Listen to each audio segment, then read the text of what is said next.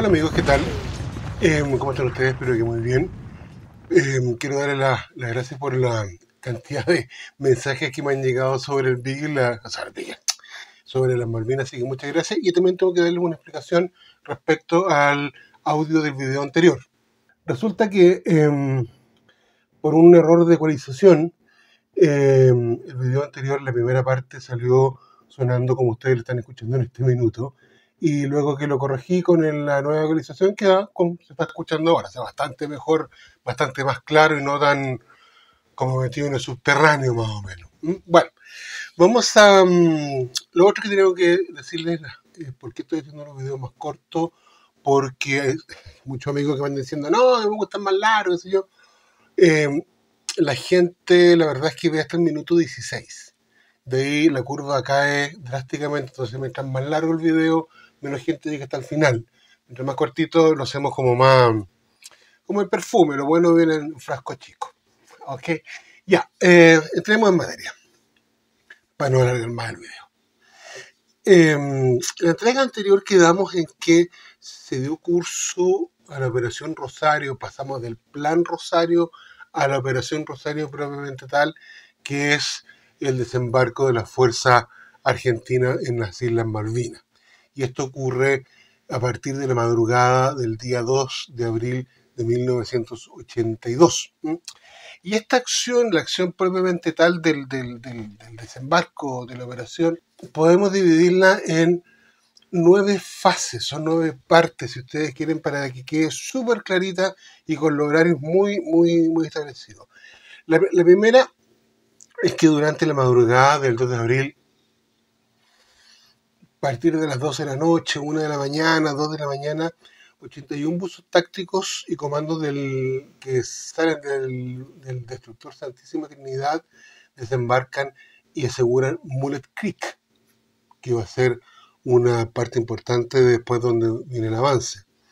Como esa misma hora, más o menos esa misma hora, 10 buzos, de, 10 buzos tácticos del submarino Santa Fe hacen, un reconocimiento sobre York Bay y la playa principal que del, del desembarco donde va a llegar el grueso de la fuerza y se quedan ahí para hacer la señalética necesaria justamente para que los buques, los transportes, los LST lleguen con, mayor facilidad a la playa que están, pero al sitio de desembarco.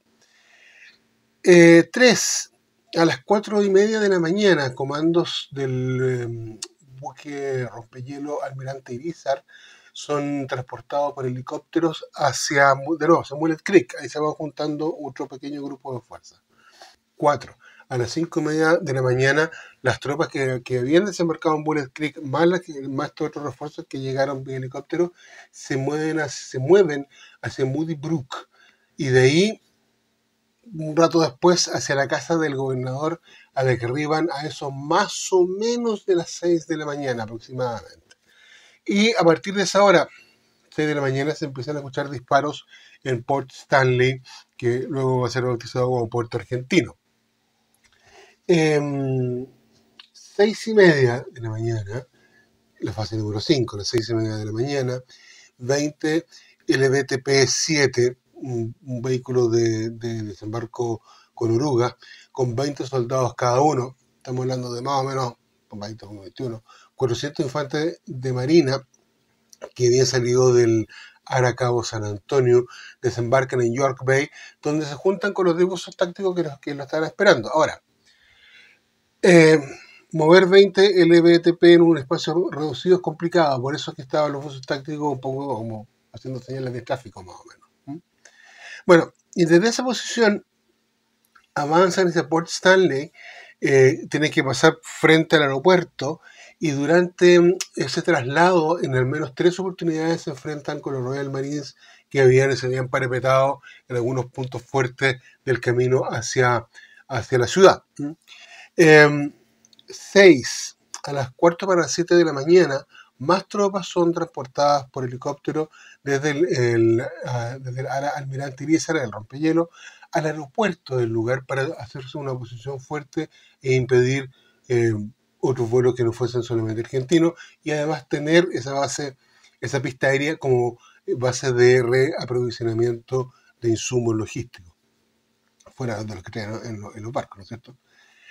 La fase número 7 es a las, aproximadamente a las 8 de la mañana, cuando la casa del gobernador y las dependencias circundantes, que están las bodegas, eh, había una, una, cancha de fútbol por ahí también, si yo no me recuerdo, y una, una, serie de cosas más, fue rodeada por efectivos de la, que venían desde Moody Brook, que venían por otro lado, y los que venían desde Port Stanley en las LBP-7.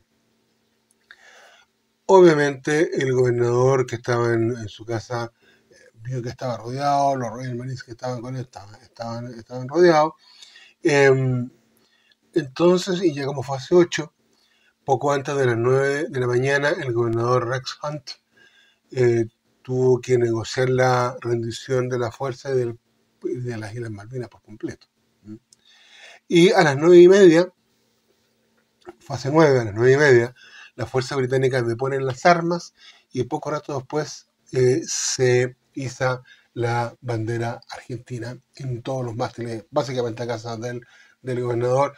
Los ingleses no tuvieron bajas eh, porque la instrucción a la infantería de marina era provocar el mínimo daño posible, eso ya lo vimos en el video pasado.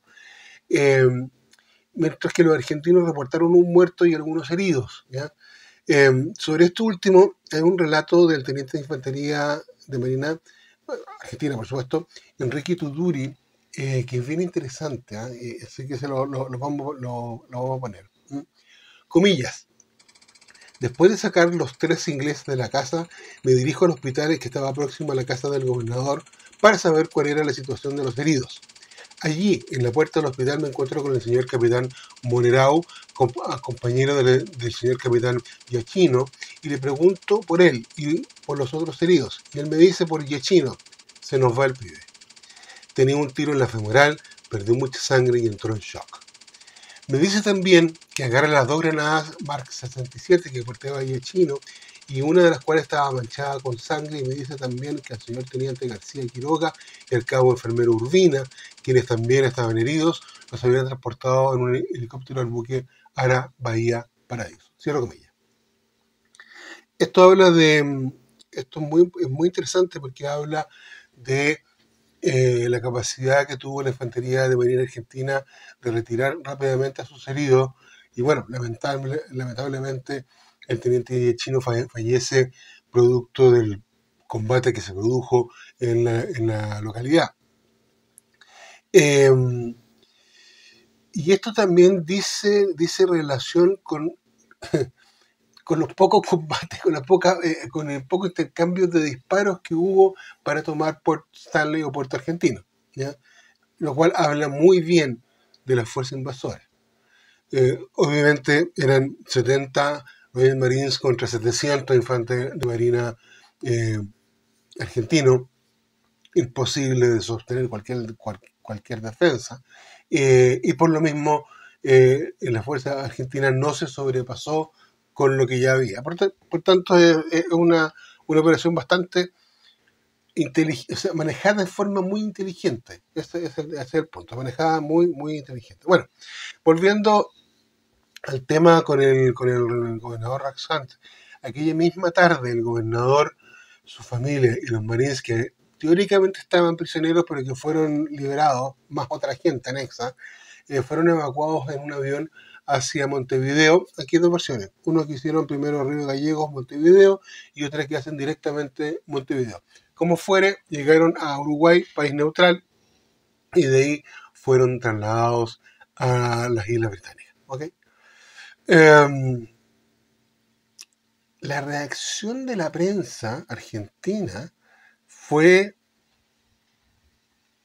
explosiva y extraordinaria y Galtieri hace un discurso el día de... A ver, escuchemos a, directamente al presidente Leopoldo Fortunato Galtieri.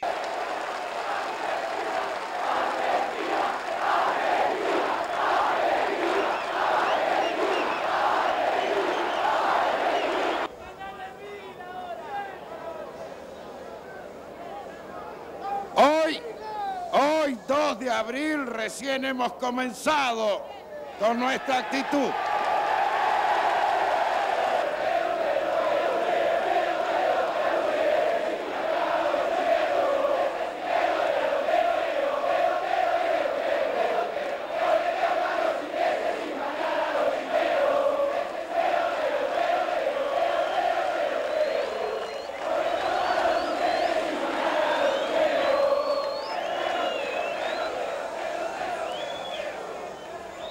Hoy 2 de abril recién hemos comenzado con la actitud de recuperar las Malvinas y toda su zona de influencia.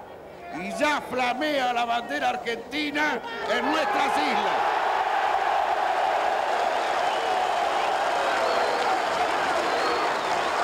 Como se ve, eh, la euforia, la euforia popular, eh, sobrepasó los límites de una victoria que se veía, que se esperaba, pero quiero aquí detenerme un segundo, lo vamos a ver en, otro video más adelante, pero quiero aquí, aquí detenerme un segundo en esta imagen.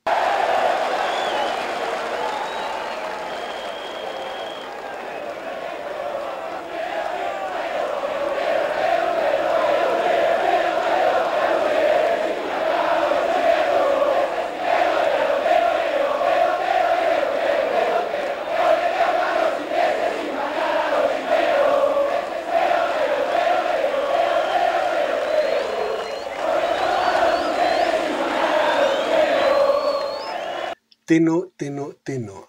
Primero los ingleses y luego los chilenos.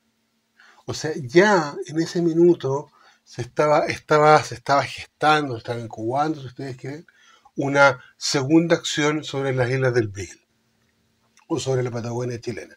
De lo mismo, pero se estaba incubando algo, que lo vamos a ver después con más detalle en, en, futuros videos. Bueno, esta demostración de fuerza de parte del, del, gobierno argentino es muy importante porque crea una imagen, crea una, una imagen país, una imagen hacia, hacia, el mundo de una nación absolutamente cohesionada, mandatario, político, estudiantes, hombres, mujeres, trabajadores, todos juntos en torno a un, a un solo objetivo y felices por lo que se había logrado. Bueno, en fin. Al día siguiente, o sea, el 3, eh, el día 3, la fuerza de tarea, 60, de tarea 60, que ya la vimos también, pero vamos a repasar ahora, con el Ara Rico y el Bahía Paraíso, que transportaba 40 infantes de marina del batallón número 1 y un grupo de 15 comandos anfibios desembarcan, espero decirlo bien, a Gritviken, en las Islas Georgias del Sur. Esta acción tuvo un costo de tres muertos, nueve heridos y un helicóptero Puma derribado por la parte argentina. La corbeta Ara Guerrida eh, Rico dañada por fuego, fuego liviano, ¿eh? pero fuego ah, tuvo muchos daños pequeños, pero daños al fin y al cabo. Y em, estas fuerzas de desembarco se enfrentaron contra 22 Royal, Marines que estaban embarcados a bordo del HMS Endurance, eh, con los cuales tuvieron como baja un solo herido. O sea, de nuevo, hablamos de una acción no muy cruenta cuando se toma este puerto de, wow, Grit, bueno, en fin. Eh, entonces tenemos que se toma las Falklands o Malvinas y se toman las Churchill del Sur. Y con eso se, se, completa la Operación Rosario. Ese mismo día 3 de abril, el Consejo de, Seguridad de las Naciones Unidas emitió una, una resolución, la 502, que dice, comillas, Consejo de Seguridad, recordando la, declaración formulada por el presidente del Consejo de Seguridad en la 2345 a sesión del Consejo celebrada el 1 de abril de 1982, en la que se a los gobiernos de Argentina y del Reino Unido, de Gran Bretaña e Irlanda del Norte a que se abstuvieran del uso o la amenaza de la fuerza en la región de las Islas Malvinas, Falkland Islands profundamente preocupado por los informes acerca de una invasión por las Fuerzas Armadas de Argentina el 2 de abril de 1982, declarando que existe un, quebrantamiento de la paz en la región de las Islas Malvinas, Falkland Islands. 1. Exige la cesación inmediata de las hostilidades. 2. Exige la retirada inmediata de todas las fuerzas argentinas de las Islas Malvinas, Falkland Islands. 3 exhorta a los gobiernos de Argentina y Reino Unido de Gran Bretaña e Irlanda del Norte a que, se, a que procuren hallar una solución diplomática a sus diferencias y a que respeten plenamente los propósitos y principios de la Carta de las Naciones Unidas. Aprobada en la 2350 a sesión por 10 votos contra 1, el de Panamá, y 4 abstenciones, China, España, Polonia, Unión de Repúblicas Socialistas Soviéticas. Cierro hay una declaración formal de las, Naciones Unidas donde pide que por favor se pare el tema de la parte bélica. Ahora bien, El 10 de abril nuevamente se efectúa una gigantesca manifestación en la Plaza de Mayo, donde las fuentes de prensa argentina hablan de 100.000 personas que se congregaron en esa oportunidad. Yo soy re malo para calcular cuánta gente hay por metro cuadrado, pero son muchos. Sin duda que las, informaciones que vamos a ver son muchos. En esa oportunidad, dejemos que Altieri diga lo que tenga que decir. El gobierno de Gran Bretaña, la señora Thatcher,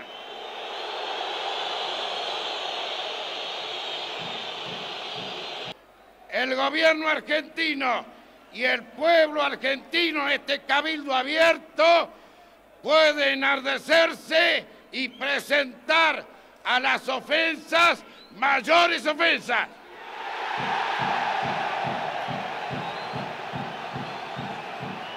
Que sepa el mundo, América, que un pueblo con voluntad, pueblo argentino, si quieren venir, que vengan, les presentaremos batalla.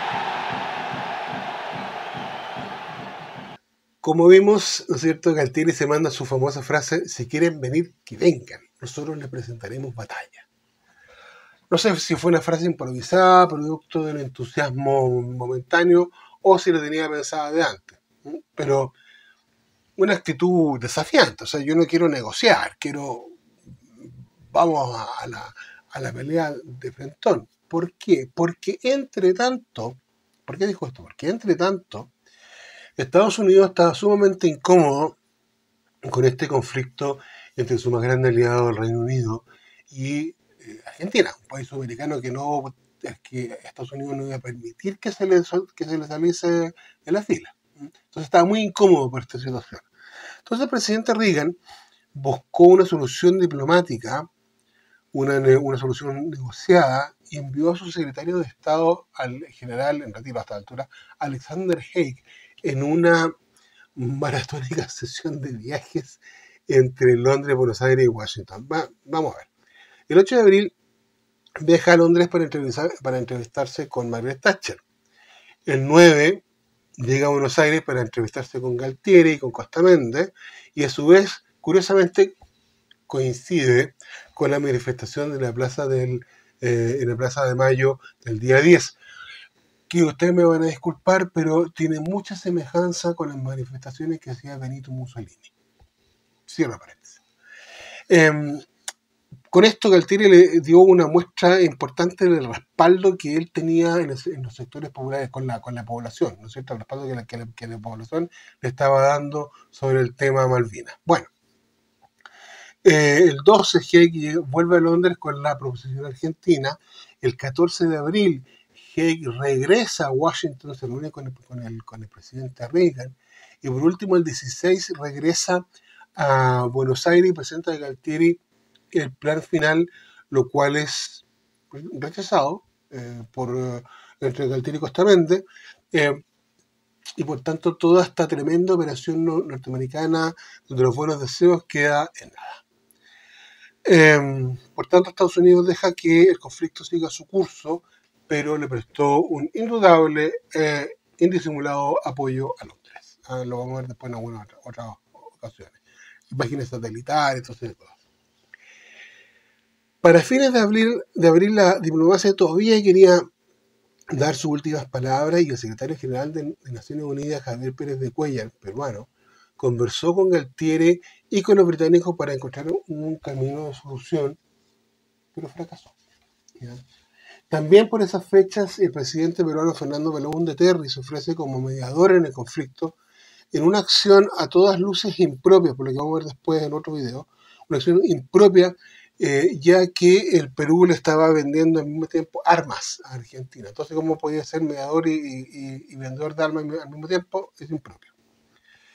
Ahora, mientras todo esto pasaba, diplomacia, manifestaciones, etcétera, etcétera, etcétera, Em, en las islas sucedían muchas cosas. Primero se cambió el nombre Falkland por Malvinas, se cambió Port Stanley por Puerto Argentino, entre otras cosas. O sea, 10 días después de la invasión, el Reino Unido establece una zona de exclusión marítima de 200 millas náuticas, bloqueando todo el tráfico militar argentino en la zona, o sea, ya no podían entrar más eh, buques y al mismo tiempo ya se sabía que estaban operando al menos dos submarinos eh, nucleares británicos en la zona. ¿Se acuerdan la información que habíamos visto en el video pasado? Bueno, fue efectiva y estaban operando dos submarinos nucleares en la zona, por tanto, la, la, el, desplazamiento de tropas fue hecho más bien por eh, eh, vía aérea que, más que por vía marítima. Y el 30 de abril se establece la zona de exclusión total. O sea, ni por mar ni por aire se podía acceder a las Islas Malvinas. Amigos míos, hasta aquí quedamos. Nos pasamos un poquito más de los 20 minutos, pero bueno, se puede. Eh, y em, vamos a ver en el siguiente video en detalle la operación Corporate y todo lo que eso implicó. Y eh, si nos alcanza tiempo o después en un video aparte, la participación de terceras potencias en el conflicto entre Inglaterra y Argentina. Eso amigos, que esté muy bien. Nos vemos. Chao, chao.